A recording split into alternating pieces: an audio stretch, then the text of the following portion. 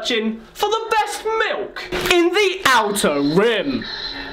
This week, I visited Tatooine. Me and Tatooine actually have a lot in common. For example, we both have two unwanted sons. Cool, that sun is a bit bright. Good thing I brought my Ray-Bans. I then went to visit a local farmer's market in an attempt to purchase some blue milk. Uncle, Piss off, you ginger belland. I'm here to purchase some blue milk. Four half portions. But it was two portions last week. That's the same thing you flid. 60 portions for the droid. In you go, Nan. Unfortunately, I didn't have enough portions, so I had to steal the milk. Now this is pod racing. Ah! Bloody hell, Nan! I landed it. She was a gymnast in 97. The scout troopers soon came after me on their speeder bikes.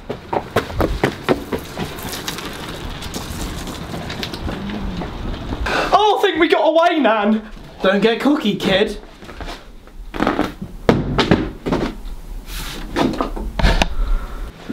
Blue milk comes from banthas, which are big, hairy space cows, otherwise known as your mum.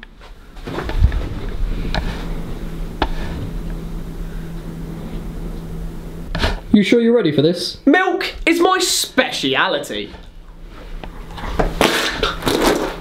This milk is more sour than the Star Wars fans when EA ruined Battlefront 2. Mikey, is your droid hungry? No, BB-8. Mm. Someone told me. Someone told me their favourite Star Wars character was Kid Fisto. Silly them, Kevin Spacey isn't in Star Wars. After tasting the local cuisine, I thought I should go meet the locals. Are you the guy from Milky Mondays? Yeah, that's me. I heard you can do the kettle run in 12 parsecs.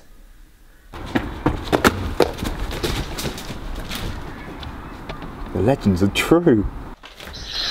I've been looking forward to this. I then went to go see the Death Troopers. Oi! You! Hello! Can't hear me, can he? No. It was getting late, so I thought I should go see the galaxy famous Tatooine moon. That's no moon.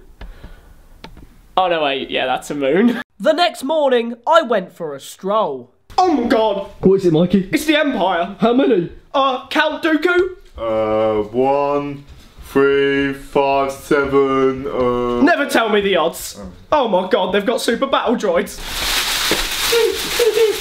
I knew when faced with a super battle droid, I'd have to watch his wrist rockets.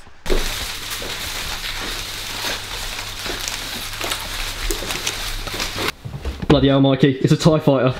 On guard! How about you? I tried to escape by hiding. Where should we hide? Oh, the garbage will do. That was rubbish. However, I knew a safer place, but I had been informed this was a wretched hive of scum and villainry.